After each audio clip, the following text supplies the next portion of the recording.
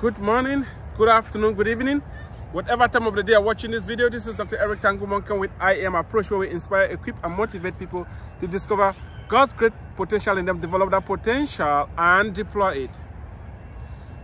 I have been talking about husbands and wives exercising together and the question is what is the best exercise for a husband and wife to get engaged in before we answer that question, the best exercise is that which the two of you actually get it done.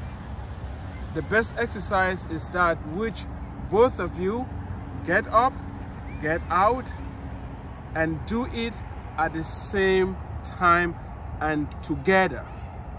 The objective here is for both of you to do that activity at the same time and together. It's not something where each person does it at their own time. No, you have to do it at the same time and you have to do it together. Now, what is this exercise? Well, let me suggest. We have been exercising for more than 10 years. And we found out a few things. One of them is this. Running is the best place to start there are many advantages to running. We said communication is very important in marriage. And when you run, you are going to have ample time to communicate. You have ample time to talk to one another. You have ample time to encourage one another. You have ample time to strategize, to plan.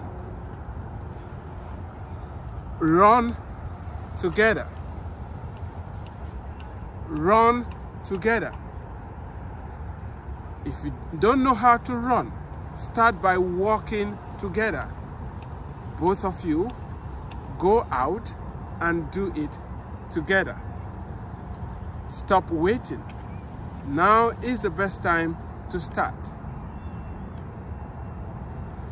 The quantity and quality of your marriage is hinging on how good your health is and your health is dependent on what you eat and the amount of exercise that you do. Here are some resources that are going to help you get on the path and get it done.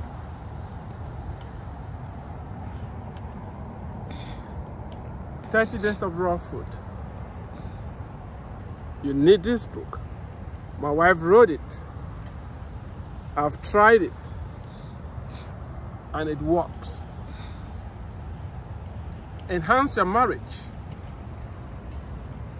My wife and I wrote this book. It's going to help you understand why it's crucial for you and your husband, you and your wife to exercise together. And while you are it, at it, I've said it's good that you run here is a roadmap for you. A 90-day challenge. For the next 90 days, you and your wife, you and your husband, you team up as one person. Get behind it and see the results. And if you need personal one-on-one coaching and mentorship, I and my wife, my wife and I are available to help. God bless you. Have a fantastic day. And don't forget to run.